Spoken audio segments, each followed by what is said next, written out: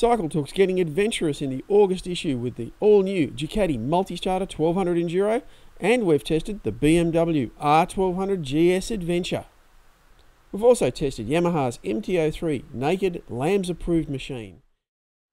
In Cycle Torque's test of the new Ducati 1200 Multistrada Enduro, you'll find they've done an amazing job of building an incredible machine that's suited to road, off-road, and has all the electronics that you could wish for in a 160 horsepower machine.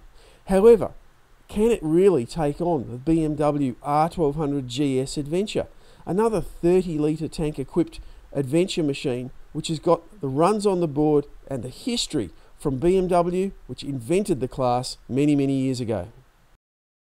Also, in the August issue of Cycle Torque, we've got a full test on the Yamaha MT03 learner approved naked machine. There's an adventure bike themed bike stuff, so lots of products and information there.